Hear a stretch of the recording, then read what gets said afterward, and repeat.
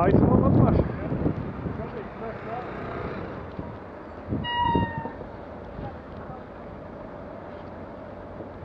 Did you not see the cyclist with the child that you pulled out in front of? No, I didn't, but this guy let me out. Oh, so then you don't have to look for others. No, I was looking, but no, He was in a high vis jacket. Have a look for your reg on YouTube later. You'll see him then, see what you did. 152D 4080. 152D 4080.